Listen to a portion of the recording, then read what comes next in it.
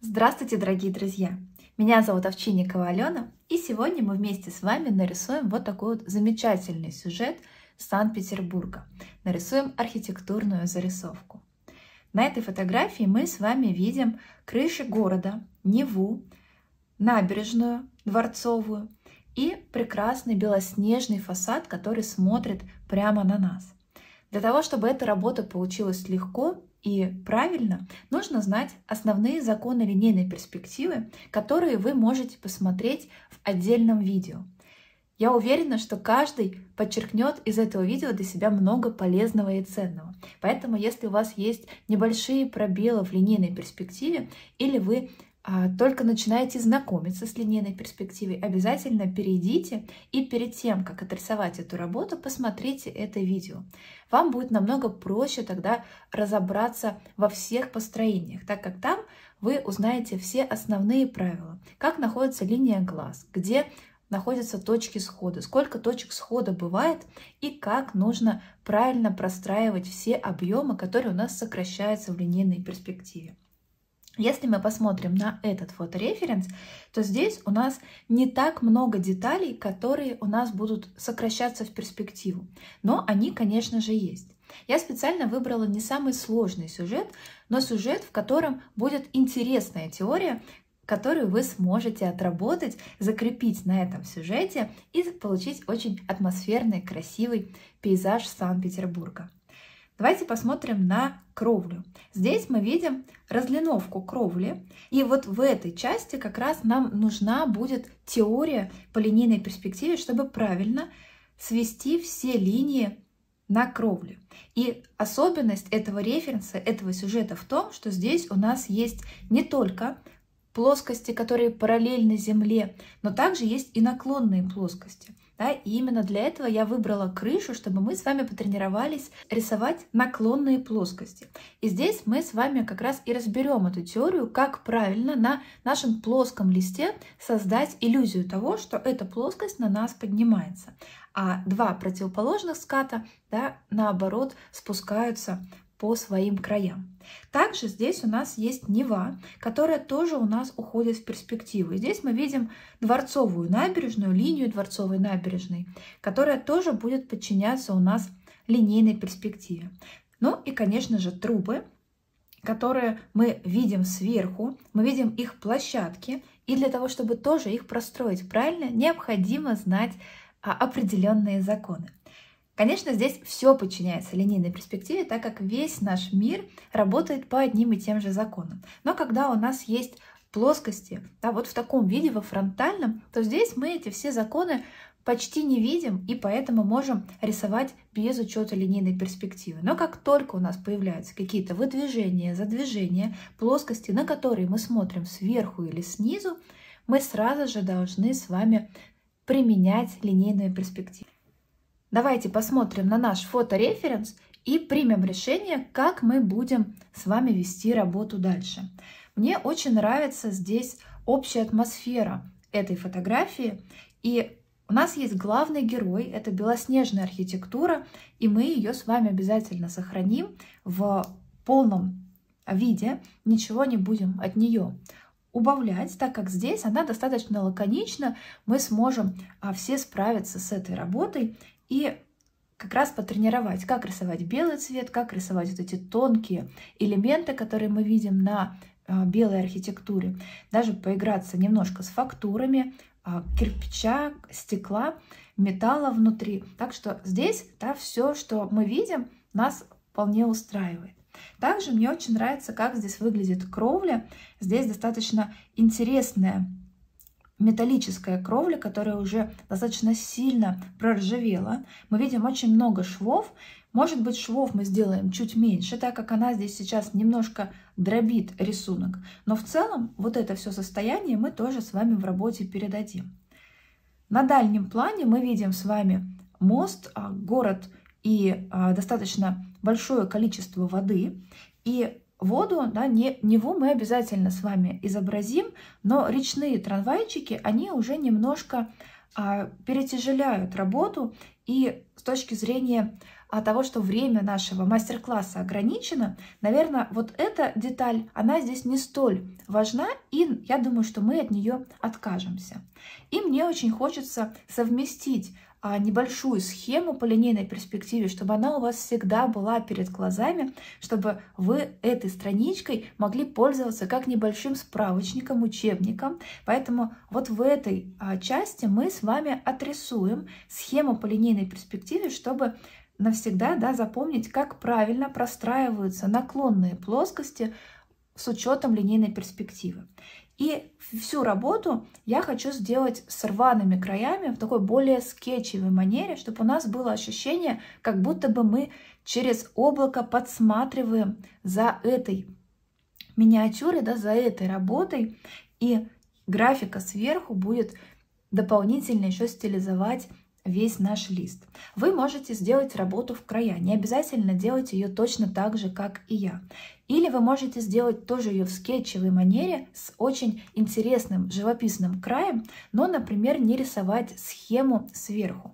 Но я уверена, что такая работа и вам очень понравится, и она прекрасно подходит к теме архитектуры, чтобы разобраться и с построением, и нарисовать атмосферную работу. Поэтому решение, конечно же, я оставляю за вами, но мне кажется, что добавив здесь графики, вы еще интереснее сделаете эту работу.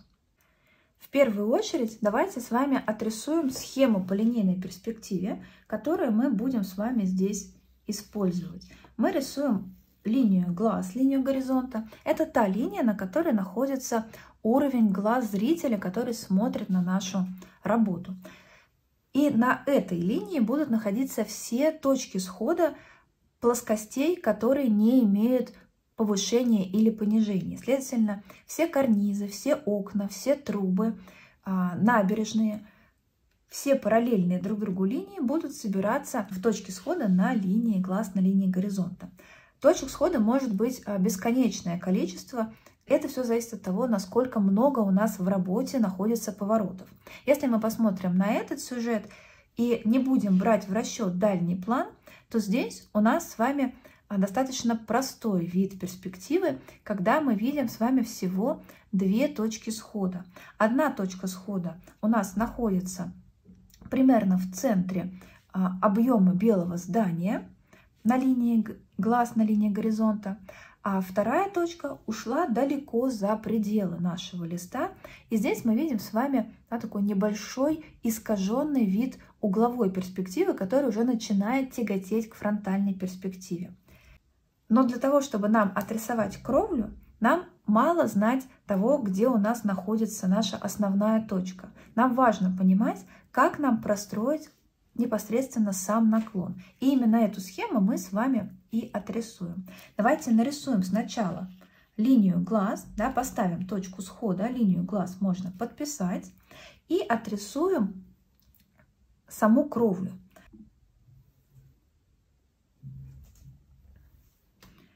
Давайте отрисуем сначала конек, чтобы вам было проще, положу рядом референс, да, мы рисуем вот этот конек. Мысленно мы ее продлили с вами до линии глаз, до линии горизонта. После того, как мы отрисовали вот эту наклонную линию, мы видим, что у нас кровля расходится на два участка. И давайте также их и отрисуем. Наклоны здесь у нас достаточно спокойные но все-таки да, мы их с вами видим. И дальше здесь давайте упростим схему, нарисуем просто параллельно Земле. Дальше мы видим, что у нас есть с вами еще два ската. И если мы посмотрим на плоскость вот этой линии, она у нас идет уже под меньшим наклоном, так как вот эта линия вышла еще на нас, да, поэтому эту линию мы рисуем чуть более полого. И теперь вот из этих двух точек мы отрисовываем линию в точку схода. Вот мы нарисовали с вами непосредственно саму плоскость крыши. И теперь нам нужно отрисовать вот эти вот желобки. Наш глаз видит их параллельными. Но если мы на самом деле а, возьмем линеечку и проложим, продлим каждую линию, то мы увидим, что они все собираются также в единую точку схода, но эта точка схода находится уже не на линии глаз, а немножко в другом месте. Давайте вот здесь увидела, что мне немного неровно, подправлю. И теперь мы вот отсюда да, поднимаем перпендикуляр наверх. И чем выше мы поднимем этот перпендикуляр, тем сильнее у нас вот эта плоскость на нас выровняется. Чем ниже мы опускаем эту точку, тем плоскость у нас становится более пологая. Давайте для схемы возьмем достаточно ее высоко. И теперь, чтобы ничего не мешало, мы из этой точки схода рисуем с вами лучи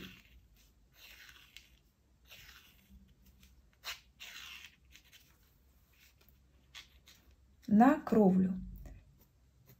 И здесь у нас получается вот такая вот картинка. Да, можно дальше уже не все вести до верха, а отрисовывать их уже больше на глаз.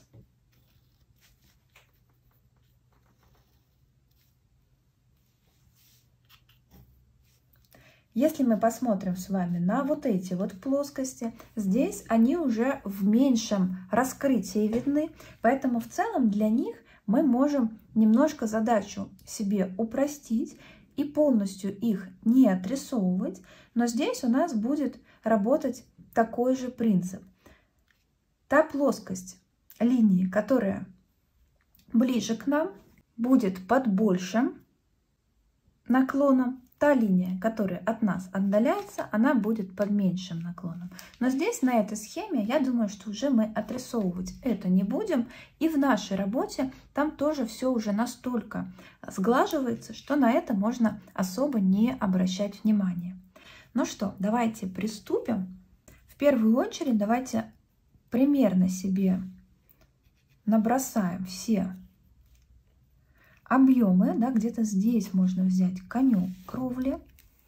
Да, у нас с вами есть наклоны, которые мы можем а, просто прикладываем к фотореференсу карандаш да, и находим необходимый нам наклон. С этой стороны наклон у нас на такой же высоте. Да, проверяем высоты. Сразу же можем отрисовать карниз.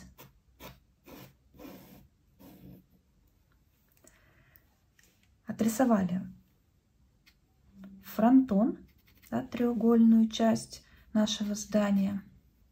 И теперь ведем с вами боковые части стен просто вертикально вниз и примерно, да, где-то вот в этой части, да, обратите внимание, что у нас конек кровли идет со смещением. И с точки зрения архитектуры это тоже смотрится очень здорово. Давайте здесь сразу же дадим несколько тяг по фасаду карнизных.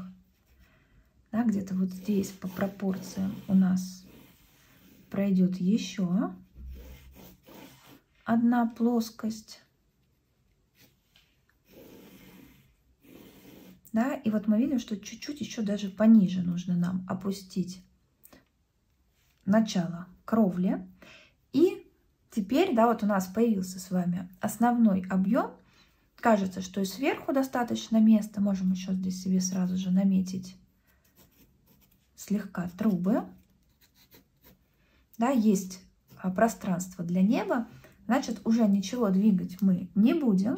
И смотрим относительно нашей работы, да, что наша линия глаз, линия горизонта пройдет примерно где-то по вот этой линии. Здесь на этом фотореференсе линия глаз будет проходить на уровне верха зданий, да, может быть, чуть-чуть, даже вот ее нужно все-таки поднять.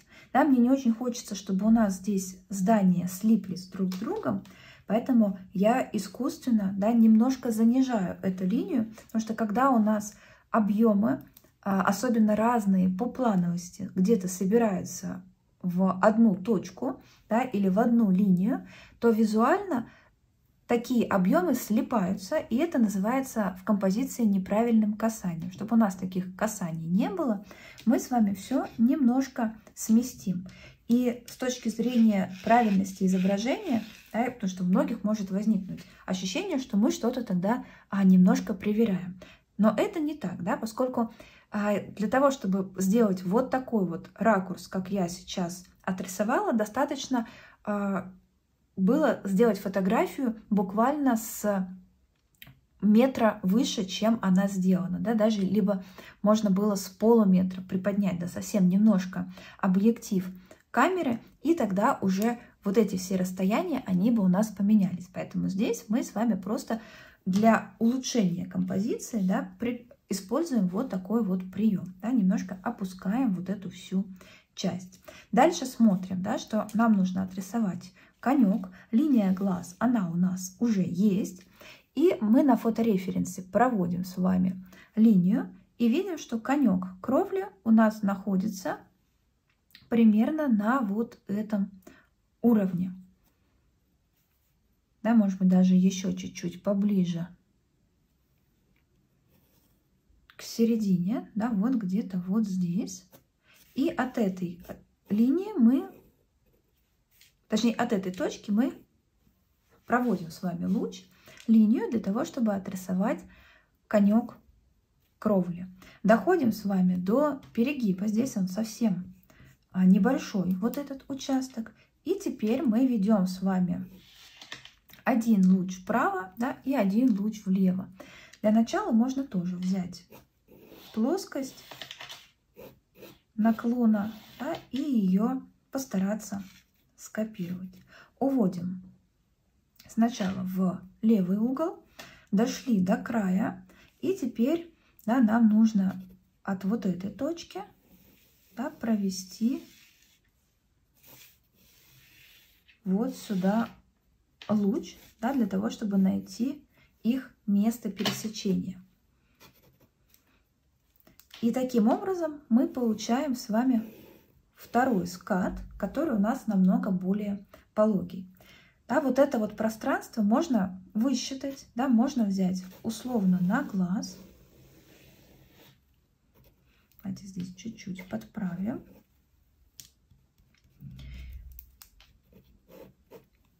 И мы отрисовали с вами да, один из участков кровли. С другой стороны да, у нас также идет наклон да, можем тоже его с вами себе перенести. И здесь кровля немножко ломается.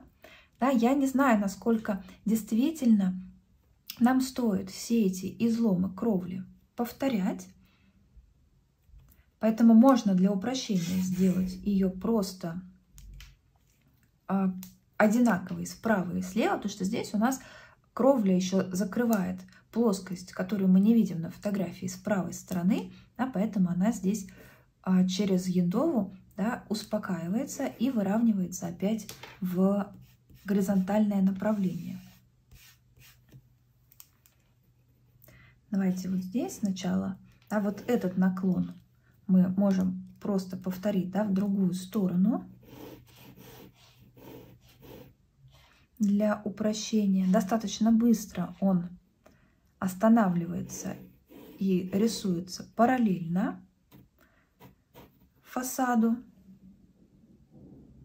А здесь мы видим, что вот этот треугольничек у нас продолжает спускаться. Да, Где-то вот в этой зоне мы видим линию, которая отходит от нас. вот здесь, да, вот такой вот у нас будет уголочек, да, и вот эту линию мы опять же ведем в точку схода. Те плоскости, которые, да, у нас имеют э, достаточно хаотичный наклон, мы отрисовываем с вами методом переноса. Но для того, чтобы объемы у нас собрались, да, рисуйте все вот такими вот плоскостями, чтобы не запутаться, да, где у нас объем а, уже собрался по линиям, да, а где пока у нас контур не замкнулся. Да, следовательно, мы видим вот эту кровлю, да, которая тоже у нас немножко выступает сильнее за фасад. Да, и вот отсюда, опять же, мы видим с вами скат, да, но он у нас тоже идет под наклоном. И наклон, я думаю, что здесь будет такой же, как и в этой части. Поэтому давайте вот отсюда мы поднимаем с вами линию вверх, да, перпендикуляр, ставим точку схода. И вот этот наклон да, рисуем уже вот в эту точку схода.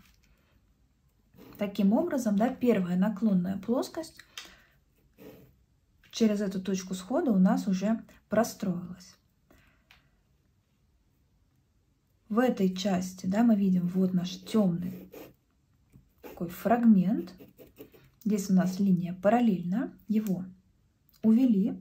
И оставшаяся часть кровли, она вся у нас поднимается от нас, да, следовательно, будет строиться через эту точку схода. Здесь мы ее вот так вот интересно поломали, и нам осталось отрисовать только нижнюю ее плоскость. Так как здесь есть небольшой поворот, он совсем незначительный, но он все-таки присутствует. И мы его с вами сохраним. Да? Следовательно, вот здесь мы потихоньку да, все сведем в правый угол да, с небольшим наклоном. Но так как контур у меня будет рваный, да, то в целом этого уже достаточно. Да, вот докуда-то до сюда мы доводим эту линию и ее останавливаем. Дальше нам нужно отрисовать непосредственно сами желобки, да, для чего мы использовали с вами вот эту линию. Да, можно себе а, чем-то немножко помочь, но я призываю вас все-таки стараться рисовать больше от руки, да, не использовать линейку. Потому что линейка это такой коварный помощник, который в какой-то момент может заставить ваш мозг лениться и вашу руку лениться, потому что вы всегда будете знать, что можно взять линейку, себя перепроверить, подправить, да, или вообще сразу же отрисовать по линейке.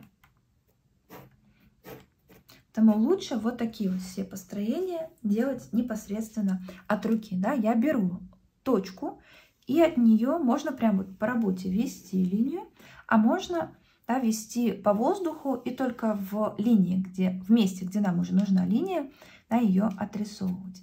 После того, как мы разложили основные желобки, мы можем уже в них да, вписывать остальные без такого четкого построения, да, так как между двумя плоскостями да, мы спокойно можем провести еще один луч, да, который разделит этот угол пополам. Вот с этой стороны да, мы видим с вами тоже немножко наклонов, как я уже сказала, ближе к нам они будут иметь более сильный наклон, отдаляясь от нас, они будут иметь более пологий наклон. Да, тоже можно немножко этих линий прорисовать. Но они будут у нас все достаточно сильно приглушаться разными пятнами тоновыми, да, поэтому на это можно сильно много времени не тратить. Теперь давайте перейдем к трубам и к главному нашему фасаду. В первую очередь да, давайте отрисуем вот эти все объемные трубы сверху. Да, здесь мы будем видеть небольшой участок боковой, да, и вот эта вот линия у нас также идет в точку схода. Да, но поскольку она здесь совсем незначительная, можно буквально вот пару таких миллиметров нарисовать, но которые пойдут все-таки у нас вниз. Да, очень частая ошибка вот в таких местах да, нарисовать кровлю наверх, точнее вот это вот обрамление трубы сверху, да, металлическую оцинковку. И из-за этого вся плоскость начинает выворачиваться. Поэтому внимательно следите, да, что вот эти вот небольшие линии у нас обязательно должны смотреть вниз. Следующая труба очень близко у нас к коньку. Да, и она самая высокая. Немножко неровная. Следующая труба стоит достаточно близко.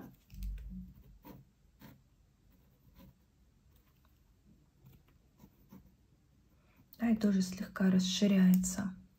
Ну и вдалеке мы видим небольшие еще да, какие-то элементы труб.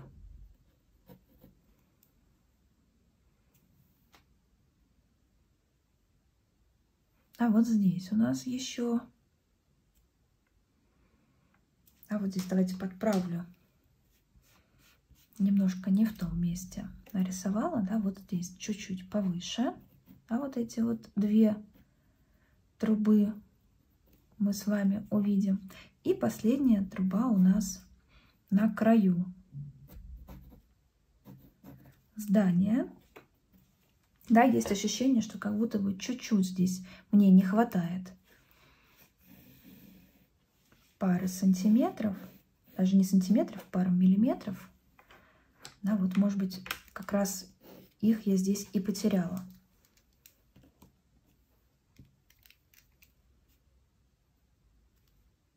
Да, можно будет потом себя перепроверить. Но в целом, да, если мы где-то немножко ошибемся, Никто, кроме нас, этого не знает, да, и не заметит.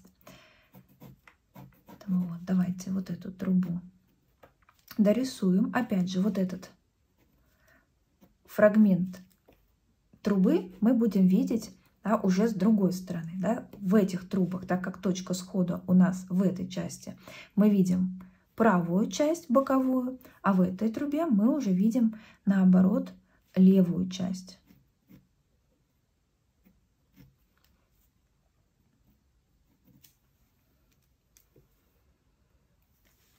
Теперь отрисовываем верхнюю часть кровли. Да, здесь у нас просто линия рисуем параллельно друг другу.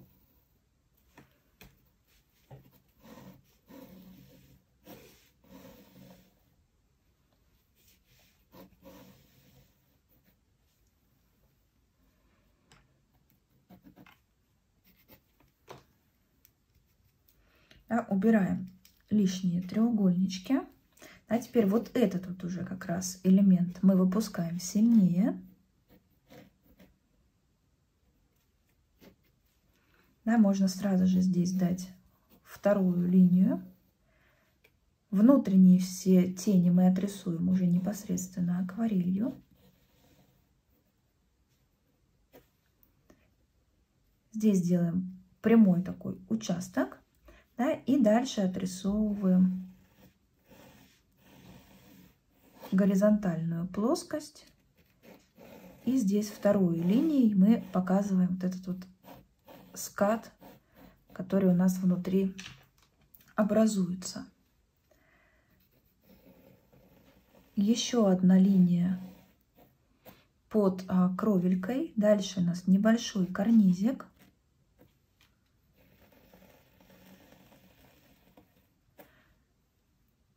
После этого карниза еще одна достаточно плоская деталь, которая у нас никуда не выступает. И под ней мы уже видим с левой стороны небольшую пилястру.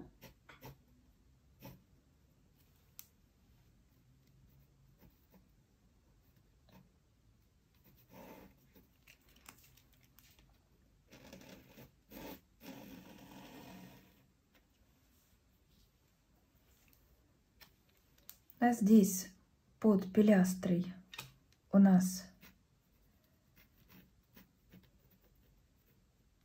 закрывающаяся часть капителя.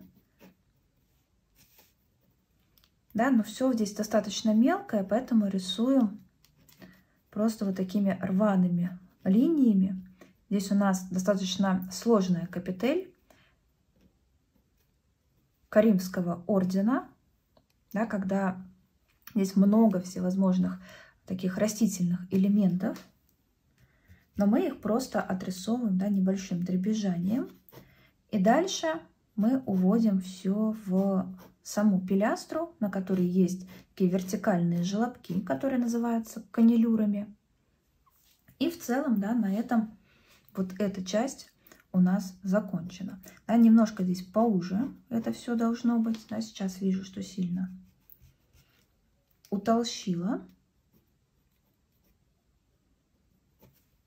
А потом как раз тенями мы создадим нужный нам объем.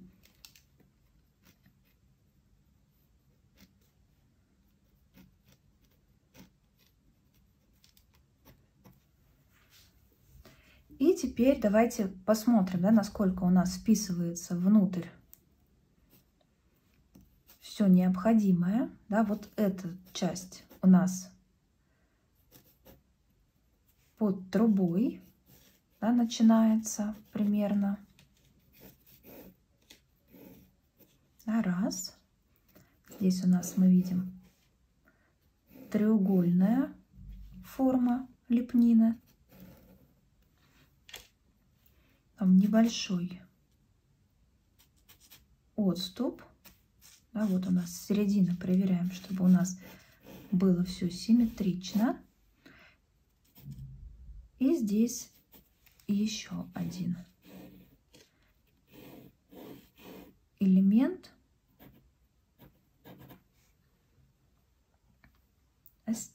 Больше уводим сюда.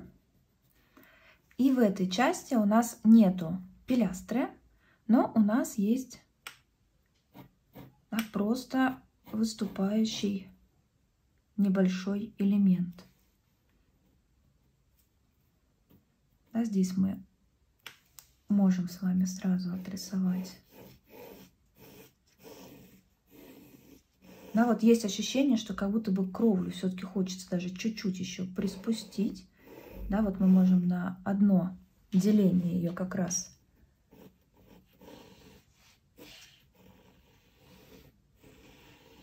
опустить пониже.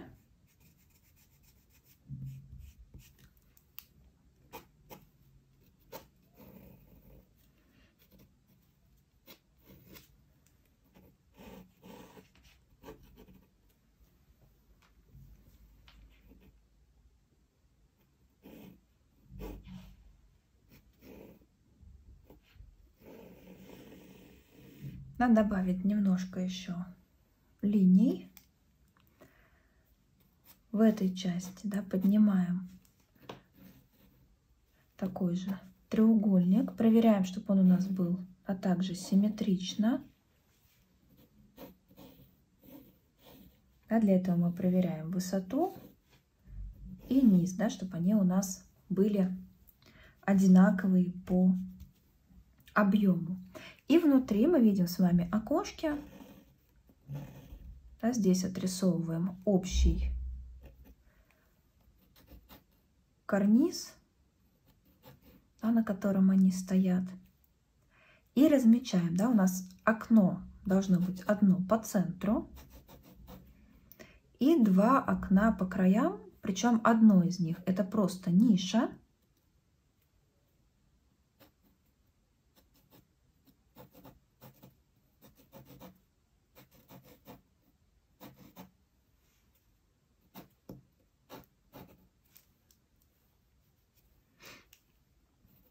И по высоте они чуть выше, чем треугольнички.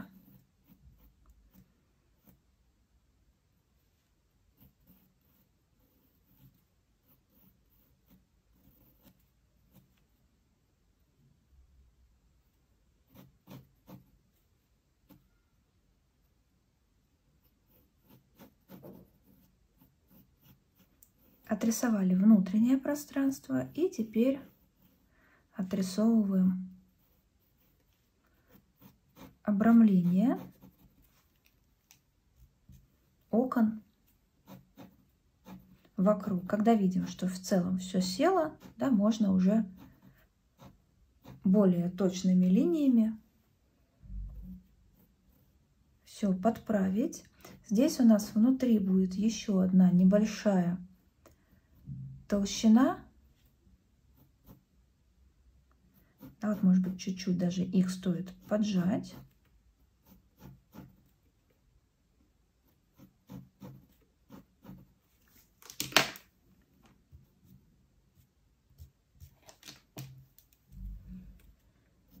Сейчас мы сделаем с вами построение, и после этого да, акварельная часть, это будет у нас уже самое такое легкое, приятное, быстрое.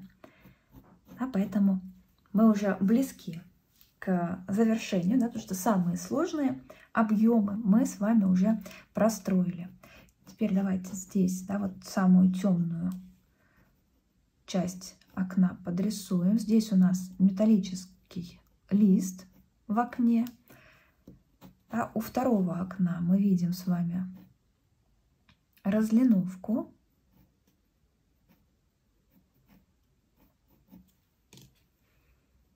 Да, окно у нас делится на три части. И в этом окошке у нас будет просто а, фактурная да, фасадная стена.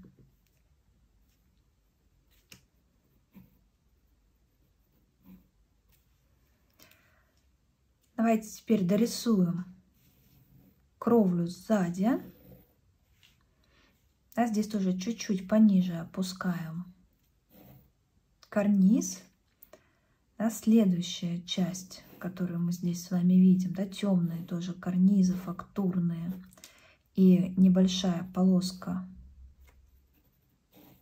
Давайте все-таки ее здесь сделаем. Коричневая. Да, здесь у нас проходит труба, окно.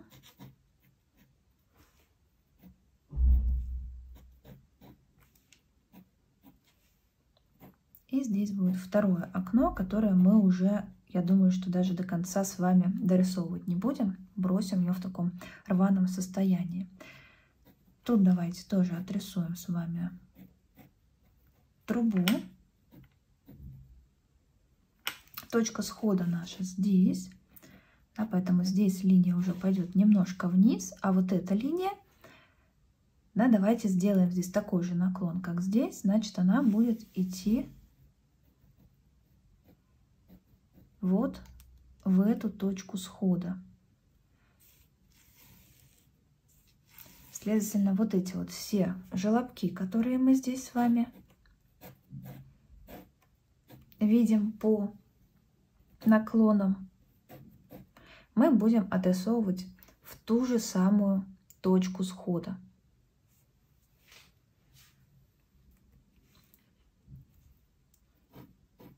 И вот это все мы уже оставляем. Мне хочется, наверное, чуть-чуть приспустить здесь.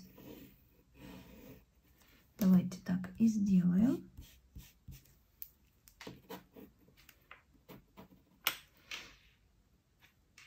И вот в этой части уже да, ничего мы рассказывать не будем зрителям. Да, у нас здесь все уйдет. Можно здесь слегка наметить себе да, вот этот элемент, который закрывает у нас часть кровли.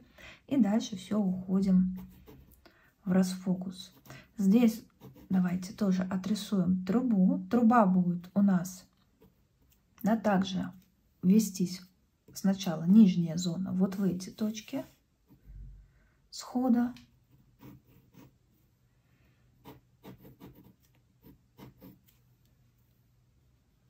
А мы вот так вот выдвинули на нас. Вот эта линия пойдет в эту точку схода.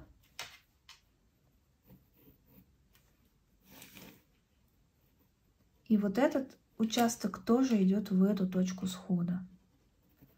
Да, здесь мы делаем небольшую толщину вокруг, да, вот это все у нас будет темное. И внутреннее пространство лишнее подстираем. Здесь еще есть элементы по кровле. Давайте тоже вот здесь отрисовываем по наклону линию. Поднимаем две вертикали. Вот эту линию рисуем параллельно фасаду. Вторую линию тоже рисуем параллельно.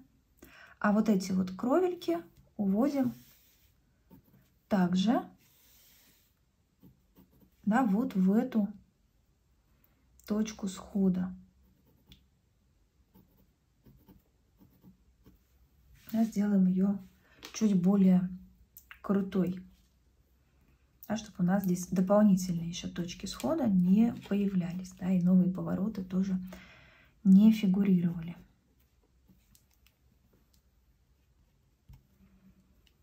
В этой части мы видим с вами трубу. Да, также сначала ее ставим с вами на кровлю да, по вот этим линиям, которые мы уже отрисовали. Отрисовываем высоту. Да, здесь она у нас идет прямо по коньку, да, совсем немного.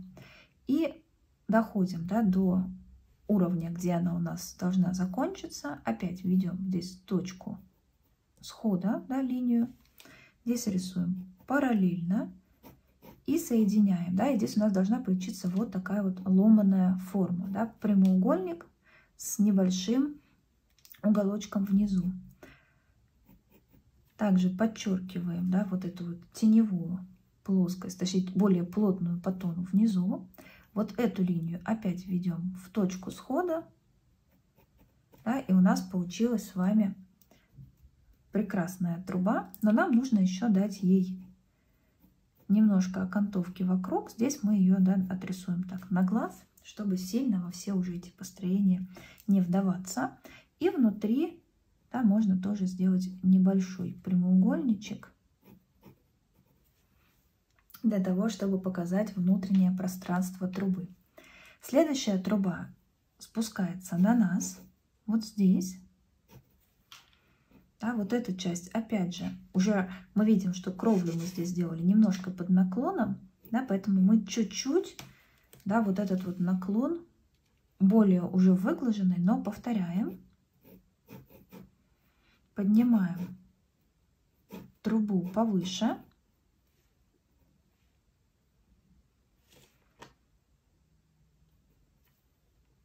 Да, и вот здесь поднимаем линию отрисовали ту часть, которая смотрит на нас. Теперь вот из этой точки ведем в точку схода, да, точно так же делаем. И здесь и отрисовываем да, полностью внутреннюю часть трубы. И внутри мы видим с вами здесь достаточно много шахт а мы нарисуем 3. Этого нам будет достаточно. К низу труба это немножко расширялась. Да, можно это сделать вот такими небольшими просто надставками. И стереть внутренние линии. Я думаю, что с остальными трубами мы поступим уже быстрее, да, уже потренировались их рисовать. Здесь давайте ее вот сюда сместим. А рисуем параллельно карнизу почти. Поднимаем саму трубу, эту линию ведем по желобку, рисуем толщину. Эта линия у нас тоже да, почти параллельно. Эту линию мы уводим в точку схода. А вот сейчас вижу, что у меня здесь плохо они слиплись, потому что мы с вами говорили про неправильные касания, да, поэтому давайте сделаем ее пониже. И как раз здесь да, у нас можно будет ее приспустить. Да, вот эта линия идет у нас в точку схода, как и вот эта. Да, отрисовываем внутренние две шахты. Здесь тоже они у меня сейчас слиплись, но я думаю, что это уже мы не будем рассоединять. Да, можно чуть-чуть приподнять. Да, или здесь перепроверить линию. Чтобы они у нас все-таки в итоге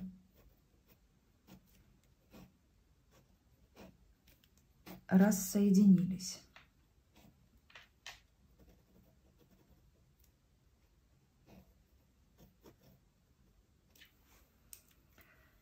Еще одна труба. Давайте вот эту вот сделаем. А в этой части в целом можно на самом деле даже трубу уже не отрисовывать.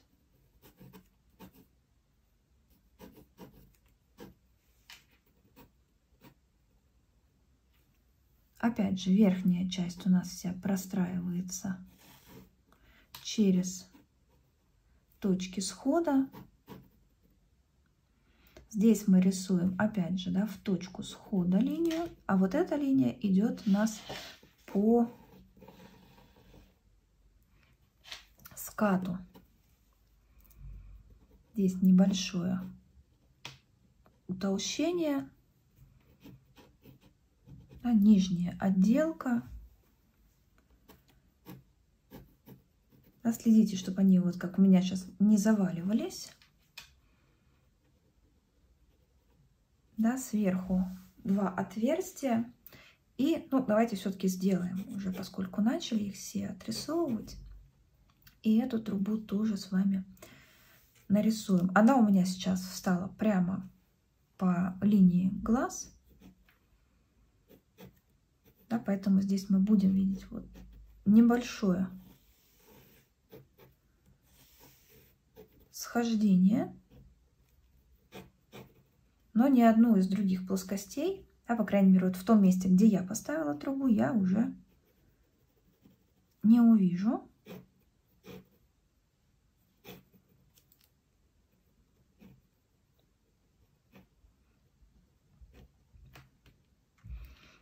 Да, здесь можно вот как раз сделать вот эту вот разность отделки по кровле. Здесь какой-то, давайте, небольшой дофантазируем карниз. Да, и уведем это все вот такой вот небольшой линией, да, чтобы у нас в итоге работа собралась. Теперь давайте отрисуем дальний план. Так, здесь мы трубу с вами не дорисовали. Почему-то я ее бросила.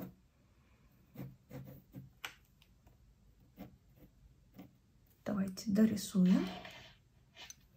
И вот здесь тоже у нас есть небольшая приставная труба. Да, она чуть-чуть у нас здесь выступает.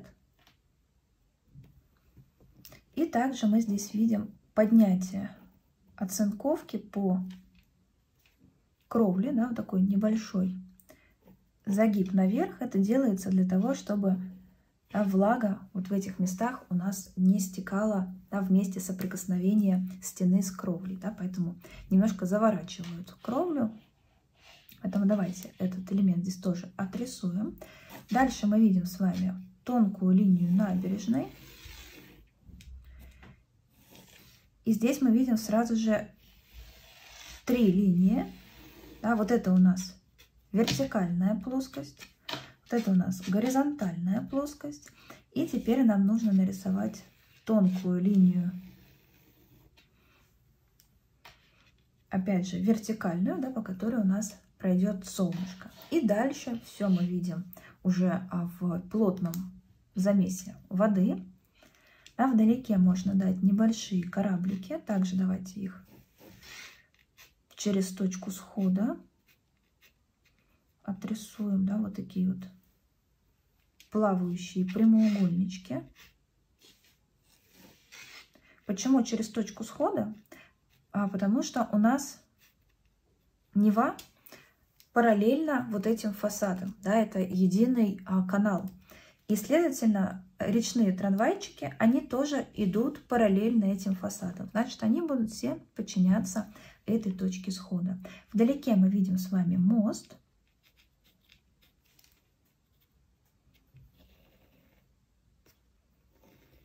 А вот здесь чуть-чуть поближе будет опора моста.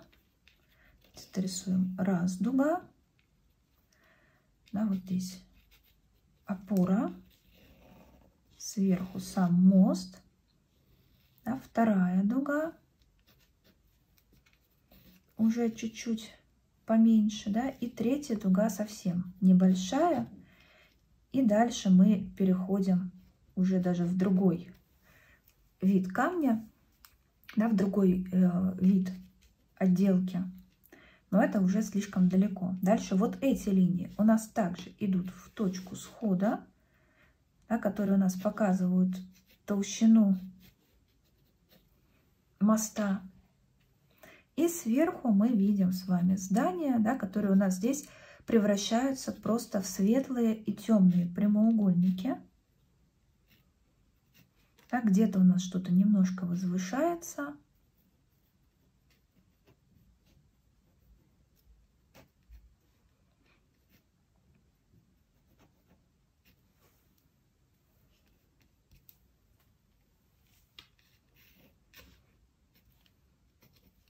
Да, мы видим здесь с вами мачты военного корабля.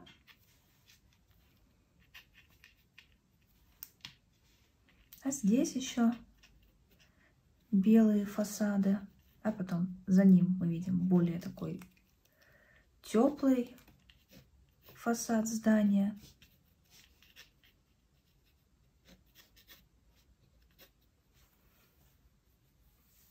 И больше, наверное, здесь мы уже ничего отрисовывать не будем. Я бы, может быть, даже оставила только один кораблик. Да, и здесь посильнее увести на нет. Ну что, давайте а, уберем все линии построения. Да? Мы потратили достаточно много сил и времени на то, чтобы это все отстроить. Но зато весь наш рисунок, он полностью выверен да, с точки зрения линейной перспективы. Все у нас а, подчиняется ей, да, плоскости никуда не вываливаются. И это позволит нам а, легко да, уже приступать к акварели, не переживать, что где-то что-то у нас немножко не так, да, поскольку мы все очень внимательно с вами простроили. Да, можно сразу ожидать какие-то линии отделки, какие-то еще дополнительные детали. Да, если где-то сильно видите, что немножко заплавала линия, можно ее подправить. Да, убираем все а, линии построения, которые нам в работе не нужны. Здесь, наверное, все-таки пару швов можно сразу же дать, чтобы про них не забыть. Да, но, конечно, такой чистокол швов по оцинковке мы с вами делать не будем. Потому что у нас все-таки больше задача да, сделать работу атмосферной и интересной. Ну что, давайте тогда на этом карандашную часть завершаем и приступаем к акварельной части. В первую очередь мы с вами начнем с неба, для того, чтобы у нас а, можно было уже приступать к трубам, к отрисовке главного здания. Поэтому а, берем с вами флейт и слегка промачиваем всю верхнюю часть. Мы можем не обходить с вами трубы. Нам важно обойти только кровлю. Потому что кровля у нас, да, вот этот торец и кровля, они достаточно будут светлые. Да, поэтому их мы обходим. Все остальное мы можем да, с вами не обходить и промочить водой. Я промачиваю не сильно мокро, но так, чтобы здесь да, лист у нас увлажнился. И края мы будем делать с вами рваные, да, поэтому сейчас как раз чуть-чуть заливка у нас подсохнет. Небо на фотографии достаточно сложное, у нас здесь все-таки главный а, объект, да, это архитектура, поэтому мы небо будем с вами слегка упрощать. За основу для неба мы берем с вами кобальт синий.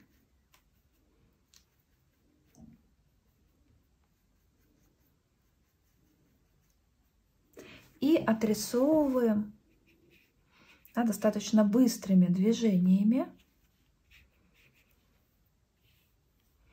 первую заливку неба.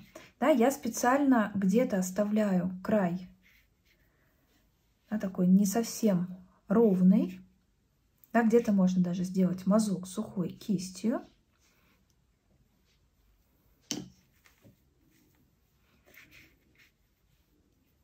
И аккуратно да, подходим к нашим трубам.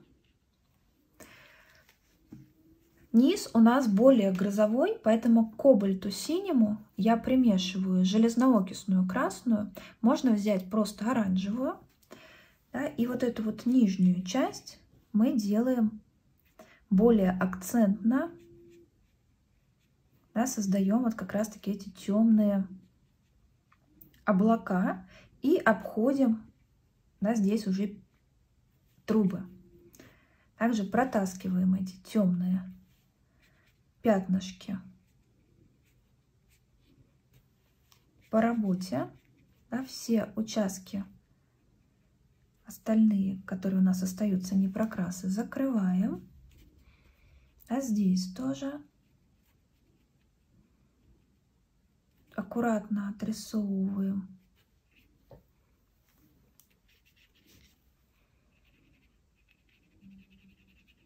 Да, и у нас будет легкое состояние такого грозового неба. Но, конечно, в таком интенсиве, как оно у нас на референсе, мы с вами делать не будем, да, просто чтобы, во-первых, не перетянуть лишнее внимание, а во-вторых, чтобы успеть да, сделать основные детали, да, чтобы не устать. Здесь тоже аккуратно, да, опять же, здесь у меня тот же самый замес, кобальт вместе с железноокисной, да, немножко сразу же кисточкой еще где-то добавляем облаков по нашему небу. И теперь в большем разбавлении да, я увожу вот это небо за пределы нашего рисунка. Да, можно взять даже маленькую кисть, чтобы где-то что-то подкорректировать, да, если хочется рисовать какие-то отдельные облачка, да, кобальт, опять же, с железноокисной. И где-то здесь можно, давайте чуть больше кобальта добавить более атмосферных, да, вот таких вот облаков. Больше тени им добавить. Мы это все делаем по-мокрому, да, у нас аккуратно краска входит внутрь да, наших заливок. Да, вот здесь вот можем уплотнить облако, да, отрисовать какую-то теневую полосу да, грозового фронта. А здесь может быть какое-то еще облако сверху добавить.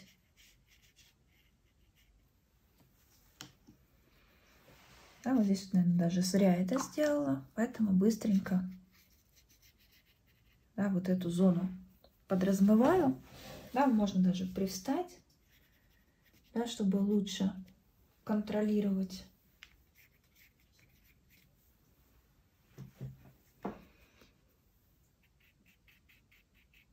Но я думаю, что давайте с небом остановимся, да, чтобы сильно в него не погрязнуть.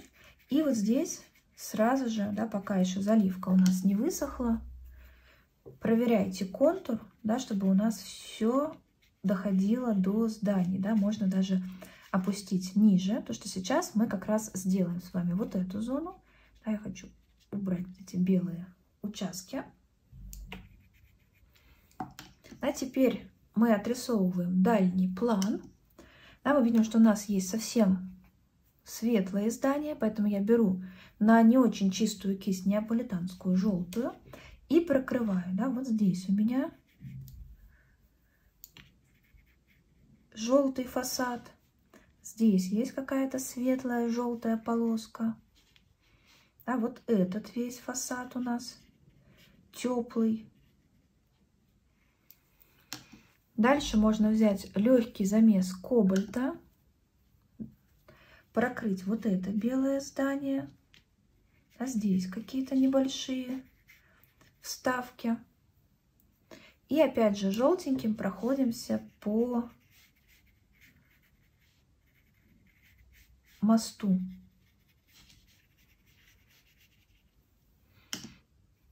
И вот с этой стороны давайте сразу уплотним. Да, берем неаполитанскую желтую вместе с железноокисной красной.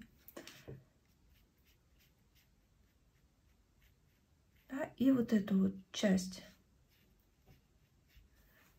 моста. Так, вижу, что немножко я не ту зону закрасила, да, но в целом не страшно, сделаем, да, вот здесь тогда эти уже три арки. Да, получается, что здесь мы будем тогда видеть с вами только два элемента моста.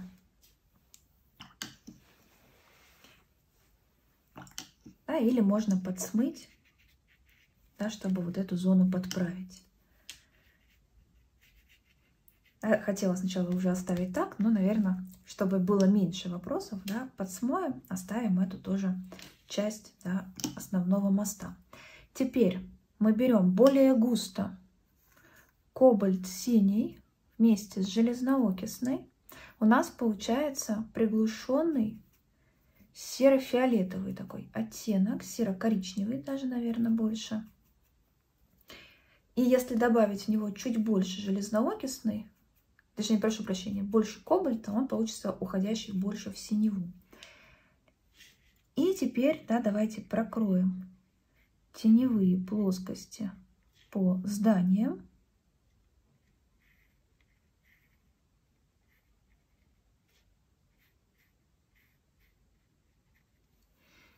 Да, но обязательно меняем. Где-то мы берем чуть больше железноокисной, да, где-то мы берем чуть больше кобальта синего.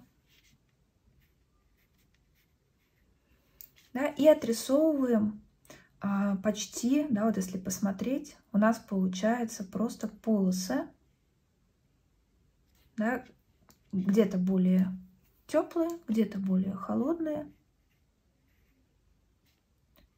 без какого-то сильного разбора.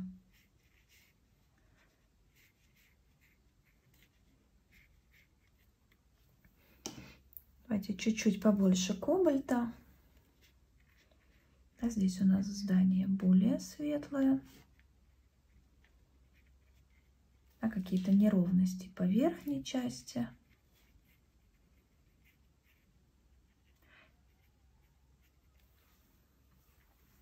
И в целом вот этого нам уже достаточно для того, чтобы в картине да, вот эта вся часть воспринималась как дальний план. Да, где-то можно что-то протереть, да, какие-то небольшие световые элементы. Давайте сразу же сделаем и мост вдалеке. Да, нам нужно уплотнить его внутреннюю часть.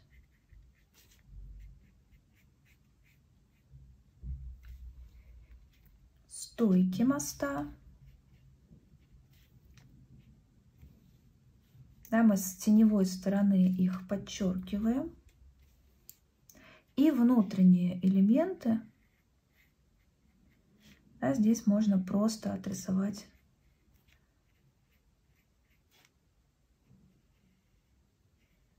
вот такими небольшими теневыми участками. И давайте пока с этой зоной остановимся и перейдем непосредственно к нашему главному зданию. Цвет здания здесь мы берем очень легкий. Нам нужно взять немножко кобальта синего и неаполитанской желтой.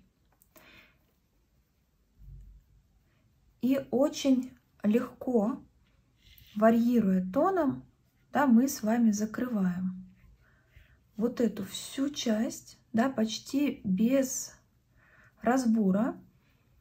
Да, где-то мы берем чуть более теплый, где-то чуть-чуть более холодный замес. И прокрываем полностью все здание.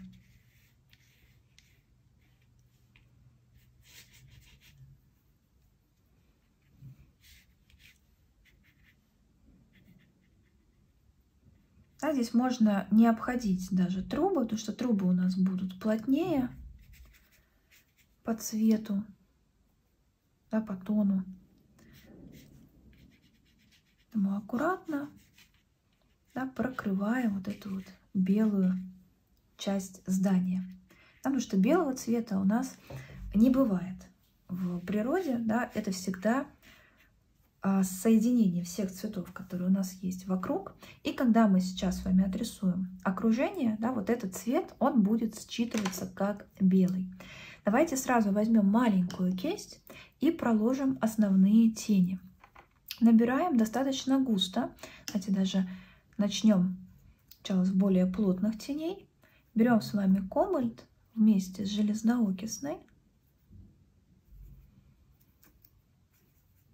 И совсем чуть-чуть можно где-то к ним добавить неаполитанскую желтую.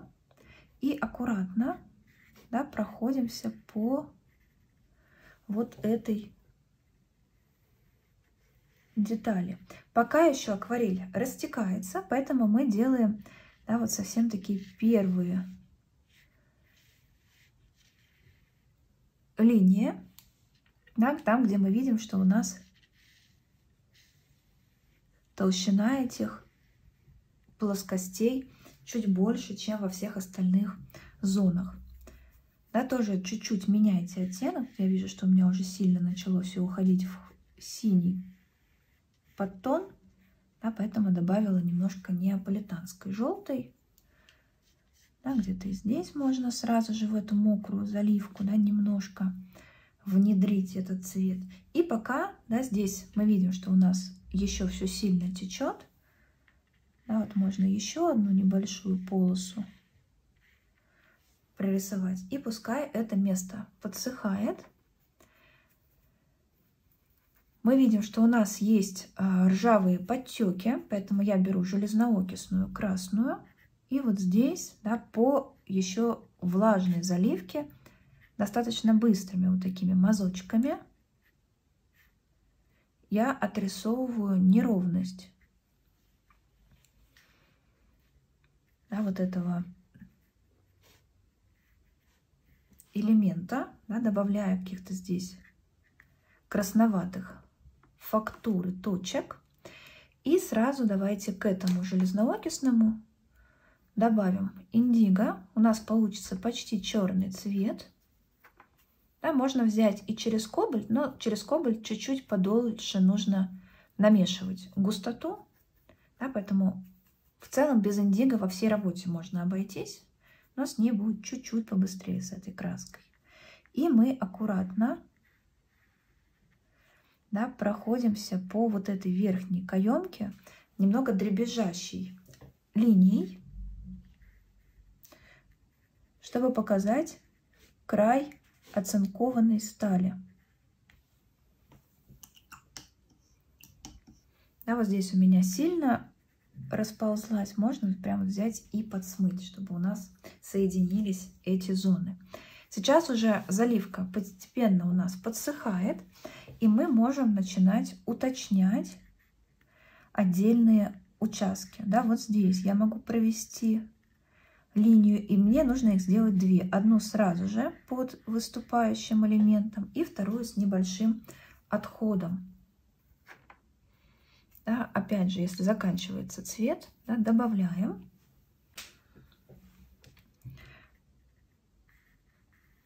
Смотрим, да, здесь у нас тоже двойной линией отрисовываем под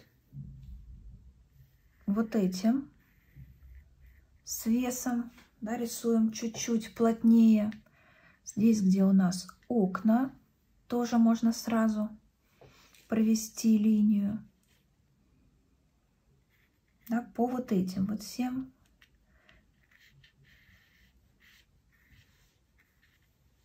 деталькам. Да, не очень удобно, что волнится лист, да, но в целом нам это не сильно должно помешать. Да, теперь вот здесь уже уточняем линию и делаем это все маленькой нашей кисточкой, да, с острым кончиком, которая нас достаточно хорошо слушается.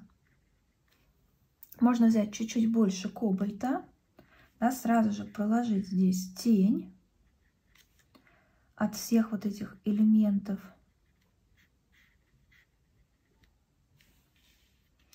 И чуть больше железноокисной, да, потому что тень у нас здесь тоже будет везде разная, да, рисуем просто вот такими небольшими прошкрябываниями линии, которые у нас соберутся в итоге по ощущениям, как будто бы мы отрисовали капитель.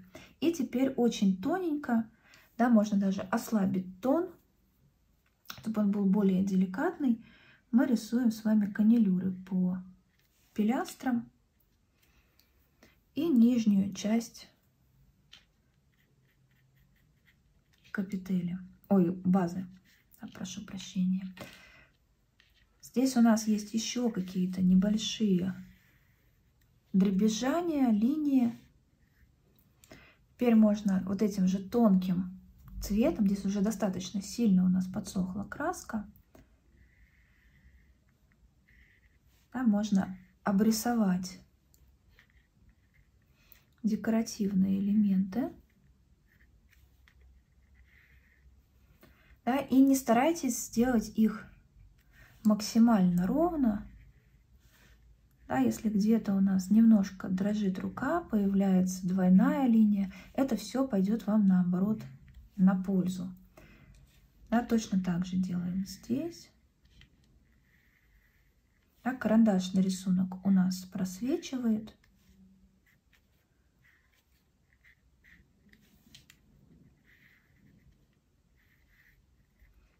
Да, вот где-то можно даже вот такие непрокрасы оставлять. Потому что если мы посмотрим внимательно на эти линии, да, то мы увидим, что они все тоже немножко дребезжат. А в рисунке мы очень часто, да, все вот эти эффекты, мы их усиливаем.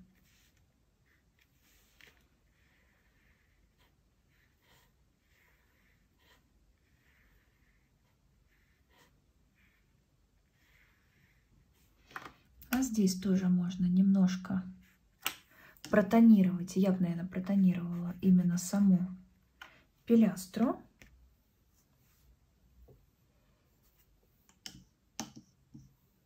И теперь давайте отрисуем внутренние окошки. Да, и перед этим у нас еще вот здесь вот тоже были теневые плоскости. Да, по правую сторону мы не доводим до самой арки, да, отрисовываем такую вот полудугу и с противоположной стороны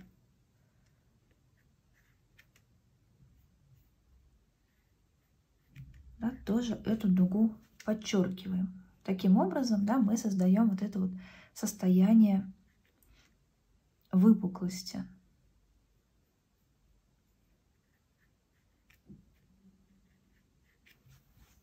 У этих элементов. Теперь более плотным цветом кладем здесь падающую тень.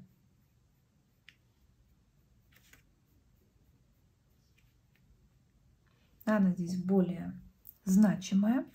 Также ее прокладываем сразу да, и во втором окошке.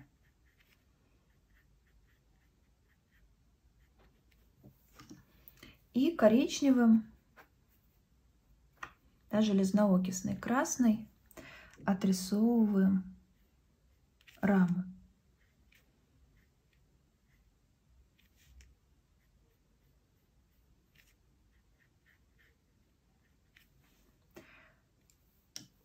В завершающем окошке у нас с вами почти не видно ничего в верхней зоне, да, поэтому намешиваем густо индиго с железноокисной, закрываем верхнее пространство.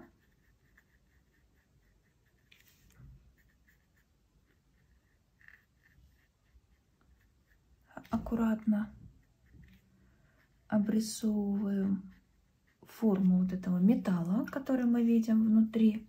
И теперь берем кобальт синий, да, достаточно легко. По форме вот этого металла отрисовываем здесь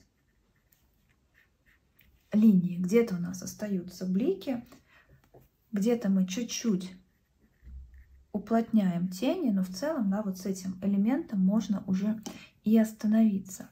И примерно так же, да, мы берем кобальт синий, закрываем внутренней части окошка и более плотным замесом индиго с железноокисной мы где-то да, отдельные участки окна немножко уплотняем, да, можно даже промокнуть, чтобы вот такие вот блики у нас внутри появились. Да, и когда это все подсыхает, да, потихонечку можно еще уплотнить основную тень, да, тень от окна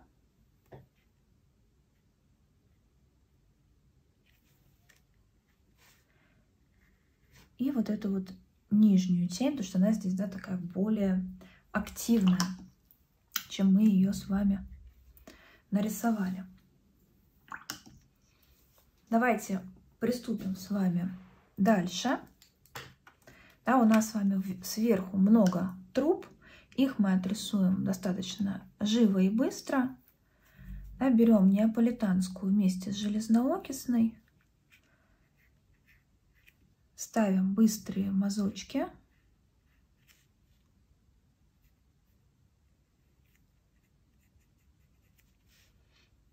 Да, можно вот сразу по всем трубам пройтись.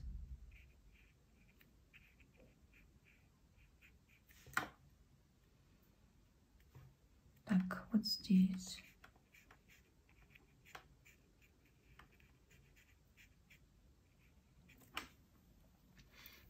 Теперь берем чистый кобальт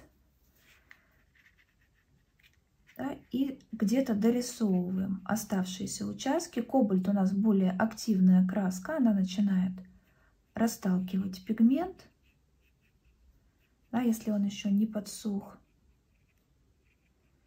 И у нас получаются да, такие очень интересные акварельные эффекты. Если мы еще где-то да, вот таким путем вместе кобальта вытрем краску, то у нас как раз получится вот этот эффект да, такой замыленный, как нам и нужен для кирпича, который окрасился спустя да, достаточно долгое время существования. Здесь мы прокрываем с вами верхушки, да, оставляя вот такие вот светлые непрокрасы с помощью кобальта и железноокисный, да, приглушенный. И теперь намешиваем более густой темный замес, подчеркиваем да, завершение труб снизу И также можем, да, где-то вот в этой части, например, у нас такая прям плотная тень, которую мы видим, да, здесь тоже можем немножко подчеркнуть. Здесь у нас будут световые участки, да, поэтому можем наоборот вот эту часть да, трубы сделать чуть-чуть более фактурной, чем она есть да, на референсе. Где-то можно слегка да, сразу подправить. Закрываем с вами боковую часть. Здесь тоже мы сначала берем с вами за основу кобальт. А здесь у нас совсем небольшой участок остался. Да, и вот эту вот всю зону аккуратно прокрываем. Да, в целом даже трубу можно не, обойти, не обходить, да, а потом ее протереть. Но здесь она у нас одна, поэтому можем более внимательно это сделать. И вот такими небольшими мазочками завершаем кровлю. Теперь я беру на маленькую кисть чистую железноокисную и ставлю ржавые подтеки по трубе.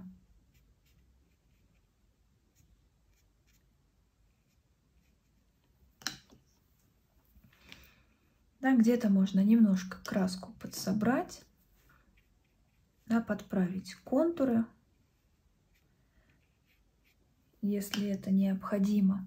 Нижняя часть сразу же отрисовываем более густо.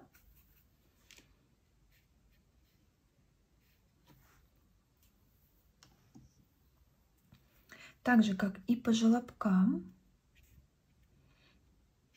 да, тоже можно сразу пройтись. Фасад, который мы с вами видим, рисуем его плотно намешивая неаполитанскую желтую, да, и к ней можно чуть-чуть сразу же примесить кобальта и железноокисный, да, и достаточно густым цветом мы проходимся по всей вот этой части, оставляя мазочки. Берем маленькую кисть, густо да, намешиваем железноокисную и небольшое количество кобальта. А вот здесь вот у нас проходит более плотная полоса.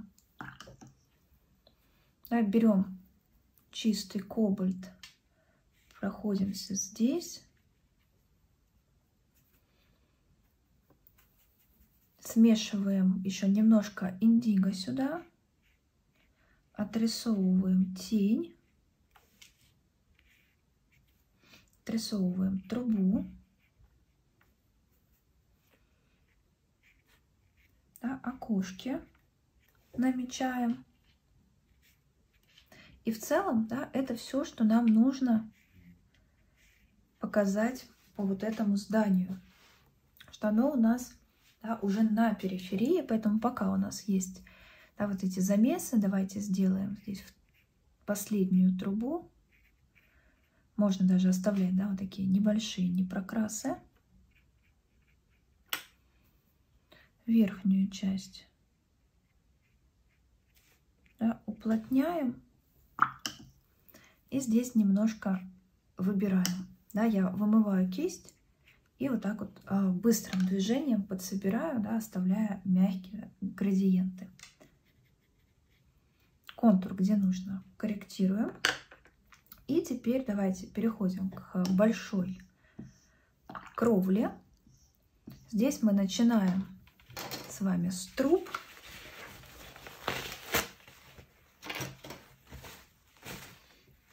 Трубы у нас желтые, да, поэтому берем легкий замес да, в наши грязные заливки неаполитанской желтой и аккуратно да, прокрываем все трубы. Мы можем выходить за пределы, да, не переживайте, что у нас вся кровелька будет темнее. Да, вот здесь, смотрите, была наоборот более холодная труба, но я ее уже сделала желтой, подправлять не буду, но если вы сразу заметили, да, можно ее прокрыть наоборот кобальтом. Да, теперь у нас, когда основной цвет на трубах есть, мы берем кобальт синий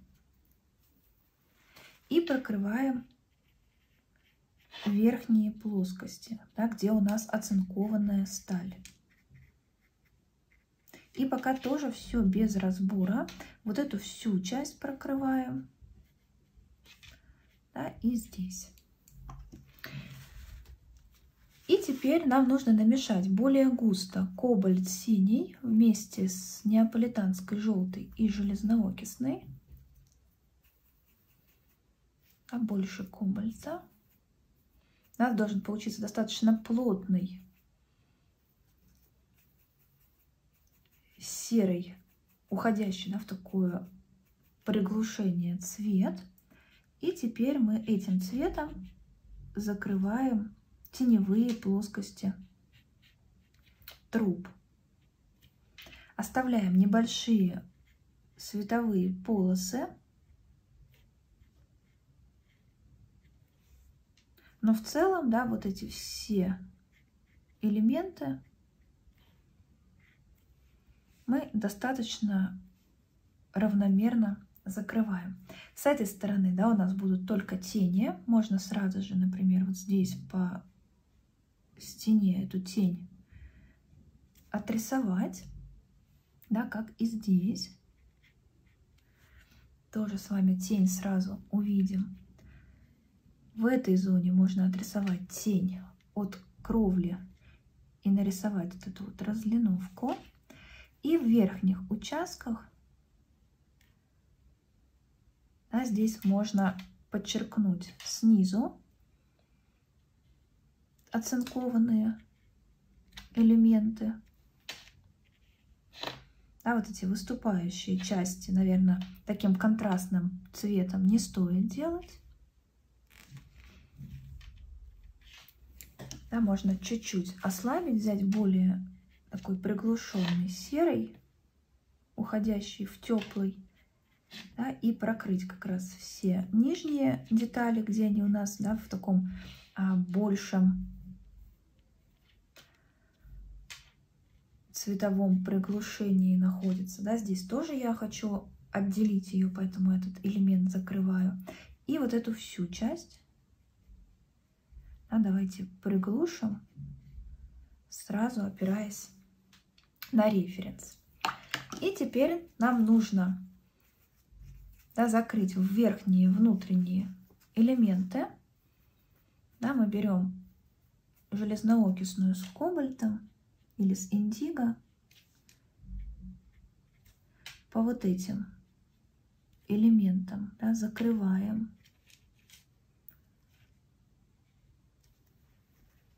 теневые верхние отверстия и теперь берем большую кисть. Сначала намешиваем кобальт синий и кобальтом закрываем, да, обходя трубы, весь участок кровли. Потому что если мы посмотрим, да, в местах, где у нас сталь еще не окислилась, там у нас достаточно голубой такой светлый оттенок. Да, аккуратно это все закрываем.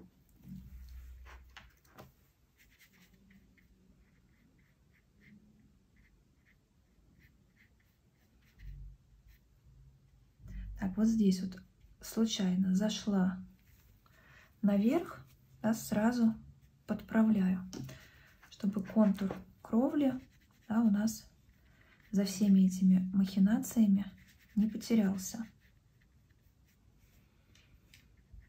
Да, старайтесь а, минимально обходить трубы, да, лучше где-то наоборот почищать, чтобы не было у нас белых пятен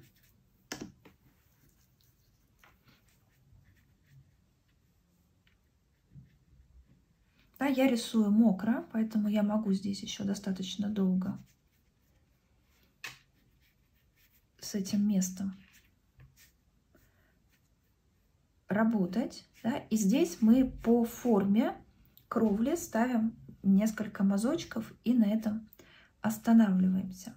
Что мы делаем теперь? Мы набираем достаточно густо железноокисную и кобальт синий. А у меня синий закончился, быстренько добавляем.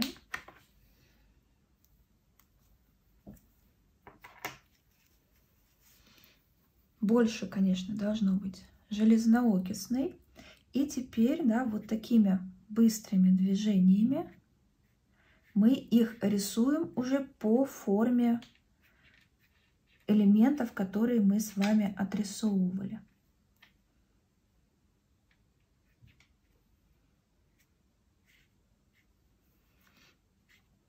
Да, они должны уже идти по кровле, да, по вот этим желобкам.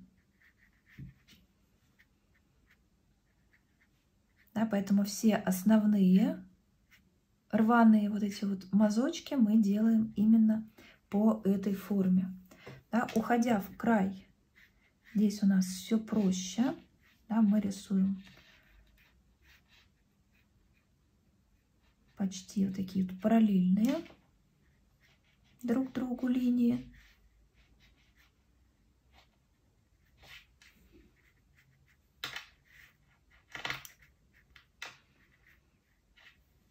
аккуратно обходим. Здесь у нас опять же мы с вами подчиняемся да, верхней точки схода.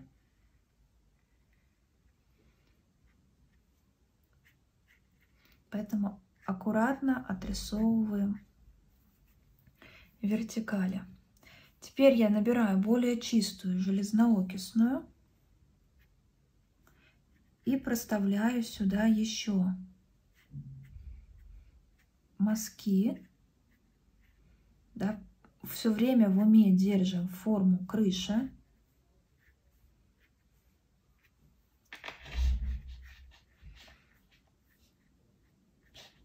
Да, и как скаты у нас расходятся вправо, влево и на нас.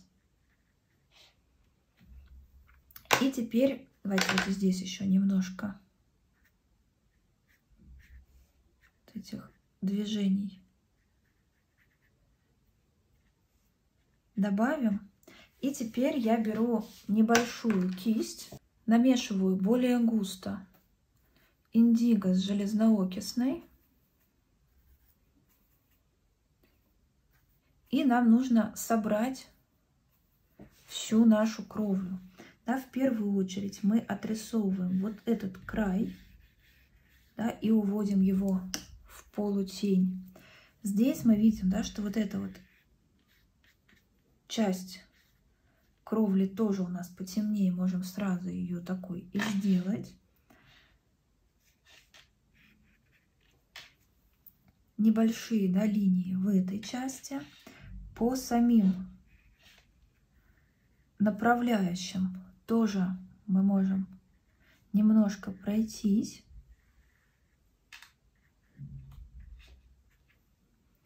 И теперь да, еще более густо набирая краску почти без воды.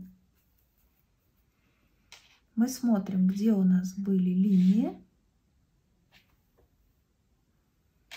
Да, если они у вас потерялись, проводите, да, опять же опираясь на вашу точку сверху.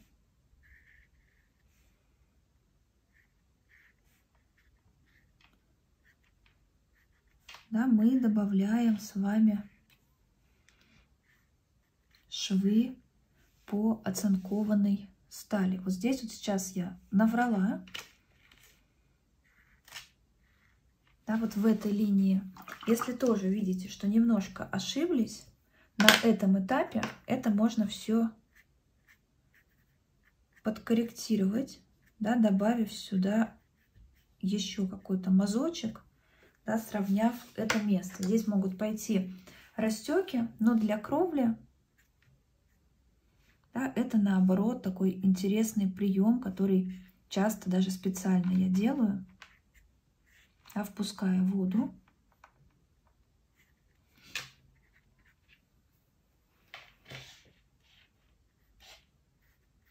А здесь проходимся по краешку обрисовывая. А здесь у нас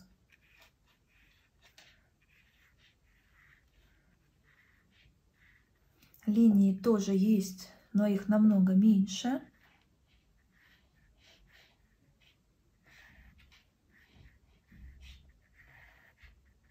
Да, добавляем вот этих движений. И темной краской, да, опять замес железноокисный и индиго, можно вот эту зону увести на нет, да, чтобы она нас тоже здесь больше не беспокоила. И нам осталось проложить с вами тени да, по кровле. Можно тем же самым замесом, но к нему чуть-чуть добавить кобальта синего, да, побольше железноокисной. И прокладываем тень. Тень у нас идет здесь все время под одним углом.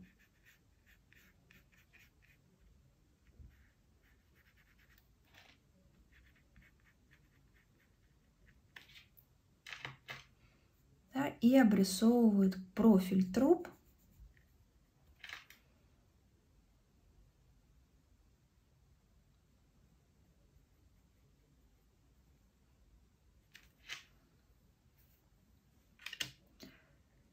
А здесь мы идем с вами до перелома.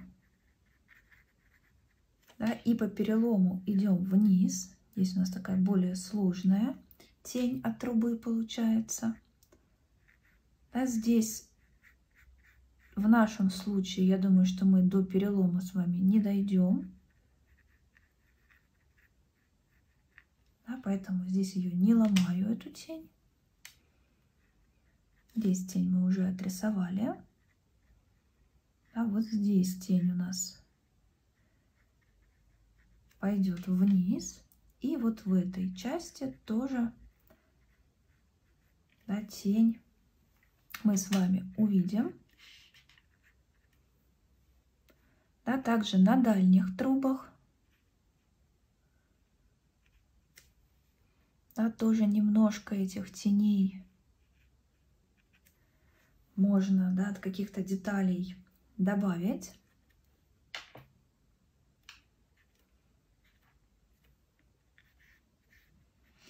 Здесь давайте добавим линий для водоотлива, чтобы вот это место у нас чуть лучше оформилось. И немножко швов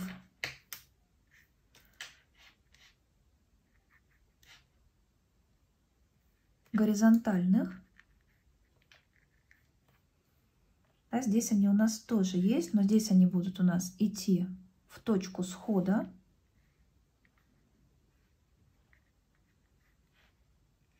Да, если мы их захотим отрисовать.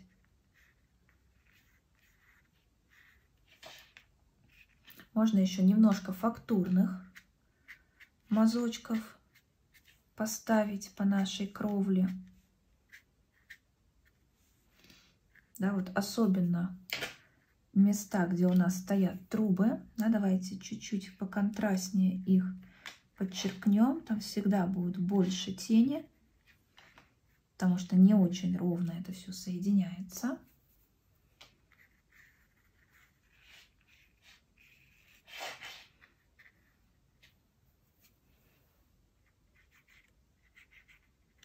Да, немного.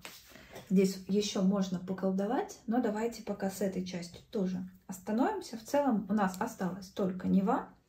Давайте к ней и перейдем. Для воды мы с вами возьмем те же цвета, которые мы уже использовали. Мы берем кобальт синий и глушим его с помощью железноокисной. Наберите достаточно много воды на кисть я на самом деле думаю, что, может быть, и не нужен нам здесь этот кораблик.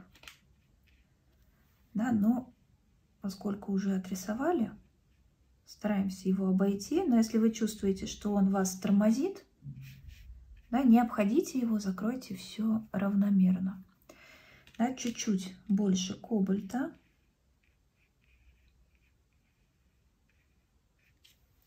Здесь давайте аккуратно подойдем к границе.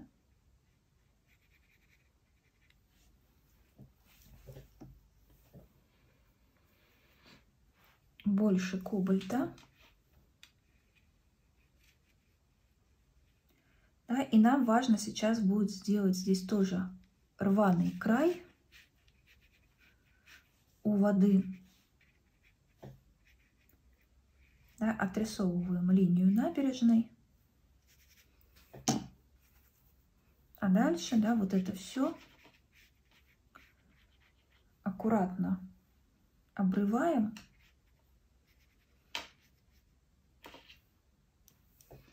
Да, можно даже какие-то небольшие капельки поставить.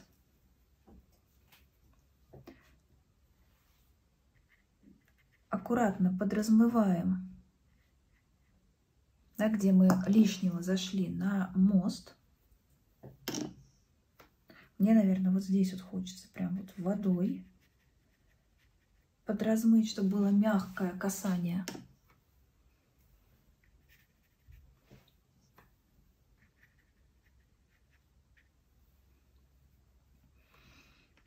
Да, и чуть-чуть посильнее выйти. И теперь я беру, опять же, кисть поменьше, кобальт вместе с индиго, чуть-чуть его приглушаем железноокисный и отрисовываем легкое волнение, да, чтобы особенно в местах, где у нас получились кляксы, это движение выровнять.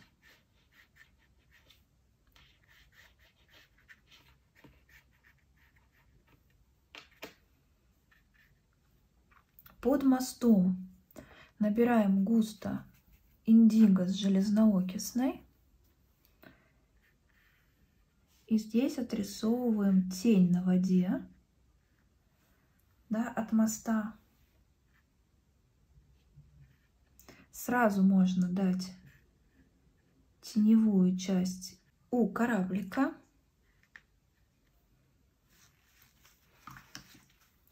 можно слегка, да, где-то подправить контуры.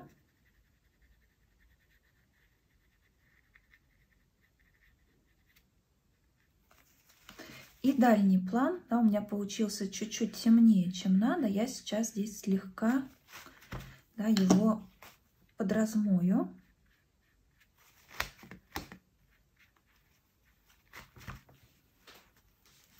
И теперь нужно еще немного уплотнить сам мост. Да, потому что самая темная часть у нас здесь это под мостом. Да, вот эти вот дуги. Ими как раз мы подправляем форму. И внутреннее пространство, мы его затонировали, да, а теперь отрисовываем с небольшими пробелами для того, чтобы создать ощущение того, что там у нас металл. Да, пробелов может быть не очень много, но они вот как раз создадут это ощущение ажурности конструкций вдалеке. Да, посередине аккуратной тоненькой линией проходим Здесь можно на переднем плане еще уплотнить, но я думаю, что давайте сначала мы да, подправим где-то формы немного и отрисуем дворцовую набережную. Для этого мы опять же смешиваем такой же сероватый оттенок. Нам нужен кобальт, железноокисная, красная и прокрываем а вот эту всю часть. Аккуратно подходим к кровле, да, можно здесь оставить небольшой блик. И вот эту всю часть мы закрываем, не доходя только до световой полосы. Да, здесь тоже аккуратно подходим. И всю вот эту зону тонируем.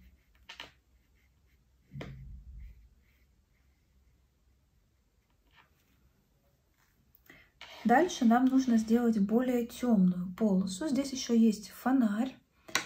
который можно будет потом добавить. А давайте возьмем индиго с железноокисной красной и аккуратно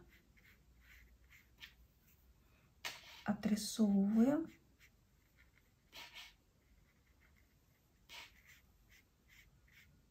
теневую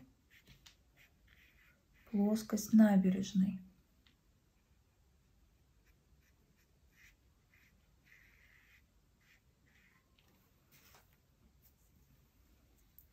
Здесь можно слегка подсобрать краску. И сейчас постепенно здесь зона подсыхает. Мы берем немножко неаполитанской желтой и вот эту верхнюю часть ограждения мы прокрываем неаполитанской желтой, чтобы все-таки это все у нас слегка углубилось. Сейчас здесь подсохнет, мы проведем еще одну линию. Пока здесь подсыхает, давайте посмотрим, где еще какие детали мы можем добавить. Мне, наверное, все-таки хочется добавить здесь столб. А сделаем его вот примерно вот в этой части. Да, отрисовываем. На нем у нас да, висят знаки, есть какая-то растяжка.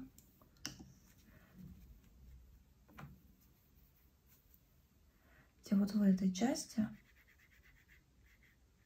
Неаполитанской желтой. Отрисуем и более темными пятнами да, соберем это все. Можно также протереть, пока здесь сыро, дорожный знак. Да, мы протираем кругляшок.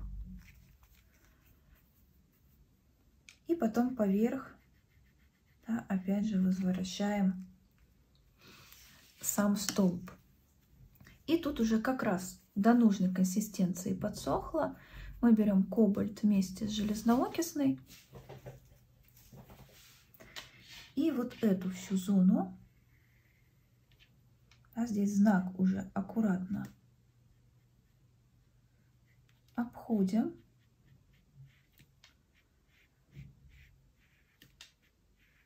Мы дополнительно тонируем.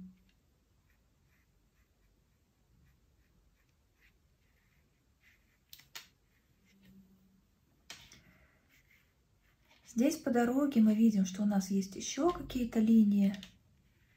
Да, если сильно хочется, можно отрисовать и людей, которые гуляют. Да, вот в этой части мы видим еще один столб. Да, по высоте он будет примерно вот до сюда.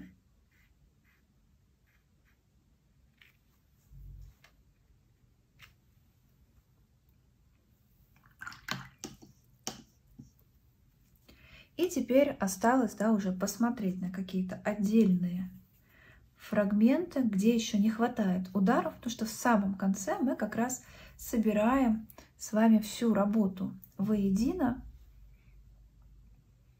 Да, нам нужно вот эту часть немножко отлепить.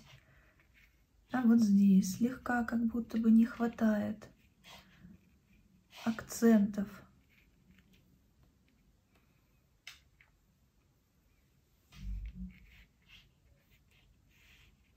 по уголкам кровли. Да, вот каких-то теневых участках тоже можно немножко еще уплотнить эту тень.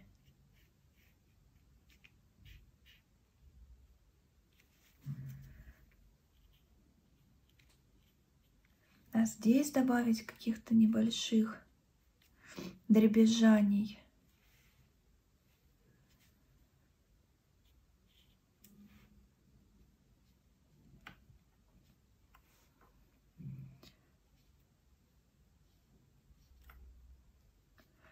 По окнам. Да, здесь у нас была труба. да, каких-то фактурных мазочков.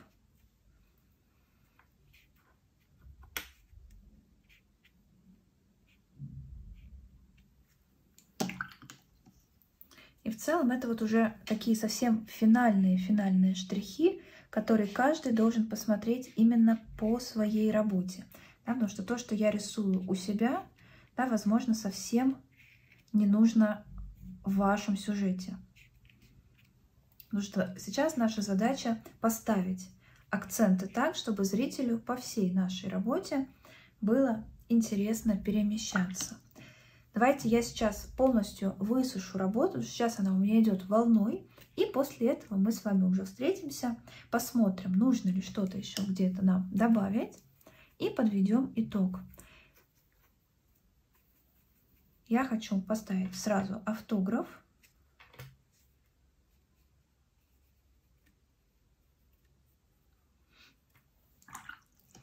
И самостоятельно обведу вот эту зону.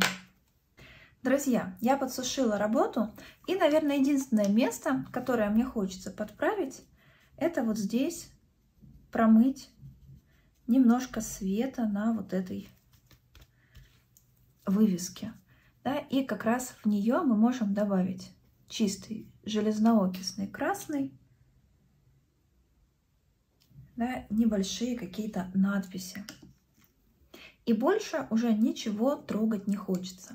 Давайте с вами а, подведем итог, что же мы с вами разобрали на этом уроке. Мы научились с вами применять теорию по линейной перспективе, правильно собирать все а, линии, которые параллельны друг другу в единую точку схода. Также мы с вами научились простраивать кровлю, и теперь мы знаем, как нарисовать любую поверхность, которая не параллельна Земле, которая имеет какой-либо наклон. Нам нужно найти изначальную точку схода, в которую сводятся параллельные линии Земле. А дальше мы от этой точки схода да, поднимаем с вами перпендикуляр на нужную нам высоту и простраиваем уже непосредственно это схождение. Я надеюсь, что моя методика вам понравилась, и здесь вы действительно порисовали, не копируя за мной или повторяя а, линии с фотореференса, а действительно поняли саму структуру построений. И это позволит вам намного более смело, намного более уверенно рисовать совершенно любые городские сюжеты. Я же приглашаю вас в свой клуб, в котором мы каждый месяц изучаем новую тему. Мы внимательно разбираем теорию, делаем схемы, упражнения, которые необходимы для того, чтобы действительно рисовать с пониманием, а не просто повторять за преподавателем. И отрисовываем большие акварельные работы и делаем самостоятельные работы, опираясь на ту теорию, которую мы изучили. И по каждой работе я даю обратную связь. Также в моей школе Овчинникова School вы найдете большое количество разных курсов и мастер-классов. И, конечно, в них есть курсы по линейной перспективе композиции и городским сюжетам. Так что переходите, вдохновляйтесь. Я уверена, что каждый из вас найдет именно то обучение, которое ему необходимо в данный момент для большого роста. И во всех курсах есть очень много теории, базы, на которой строится все обучение, которое позволяет вам рисовать самостоятельно. Пройдя несколько уроков, вы уже закрываете очень большое количество пробелов, которые как раз и тормозят ваше развитие. Поэтому творите, вдохновляйтесь. Буду с нетерпением ждать вас в своей школе. Ну и, конечно же, с радостью буду ждать вашей работы, поскольку я уверена, что у каждого получится свой сюжет. Несмотря на то, что мы все рисовали по одной фотографии, у каждого всегда считывается его манера, его рука. Так что слушайте себя, рисуйте, творите, выкладывайте свои работы, отмечайте меня и встретимся с вами уже на просторах интернета. На YouTube-канале достаточно часто выходят новые уроки, поэтому не забудьте поставить колокольчик, чтобы все новые уроки вы получали самыми первыми. Ну и, конечно же, подписывайтесь на мой канал, чтобы всегда быть в курсе творческих новостей, вместе со мной рисовать, рисовать в прямых эфирах, рисовать по записанным урокам и развиваться в творческой среде.